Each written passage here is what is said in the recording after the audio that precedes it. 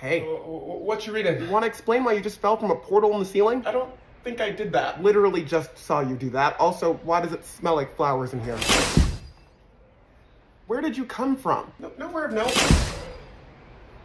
That is a giant dead wasp. Mm, Where? What did you do? Nothing.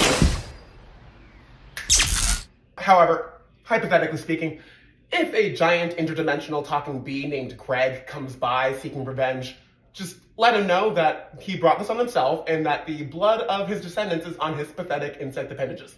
Hypothetically. Yeah. Do you have beef with an interdimensional talking bee? Not anymore. I, I mean, no. That, that's ridiculous.